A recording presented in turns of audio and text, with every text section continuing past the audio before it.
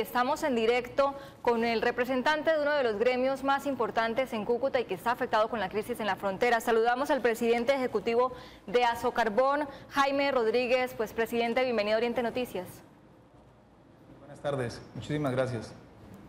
Queríamos preguntarle, y usted me corregirá la cifra, tenemos entendido que ustedes están perdiendo hasta 550 mil dólares por esa situación. ¿Cuál es el panorama y qué nos puede decir? Karen, debo corregirle la cifra. Eh, realmente, diariamente se dejan de facturar cerca de 345 mil dólares, lo cual quiere decir que a, hoy, que ya van cuatro, cuatro días en los que no se ha podido hacer exportación, hemos dejado de irrigar la economía regional con más de 1.300.000 pesos. Dólares, por favor. Vicepresidente, en los días pasados estuvo el, gabinete ministerial del presidente Juan Manuel Santos y usted le planteó específicamente al ministro del Interior Juan Fernando Criso reducir a cero el pago de los aranceles y de las regalías, por lo menos mientras la frontera esté cerrada. ¿Recibió alguna respuesta? Las medidas que le recomendamos y le sugerimos al gobierno nacional el domingo son medidas que se están evaluando.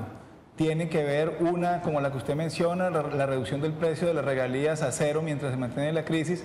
También solicitamos que se estudiara la posibilidad de fondear a, los exportadores para que pudieran mantener las compras de carbón y en esa medida pudiéramos entonces garantizar que las plazas de empleo se conservaran mientras eh, la crisis se supera pero también le dijimos que lo fundamental para nosotros y en general para toda la economía regional es lograr que la frontera se abra. La, primera petición que creemos se debe hacer al gobierno venezolano en este momento es garantizar que una actividad como la exportación de carbón norte santanderiano, que es por excelencia una actividad de integración, eh, se restablezca rápidamente y podamos con eso dar unos primeros gestos de restablecimiento de la situación.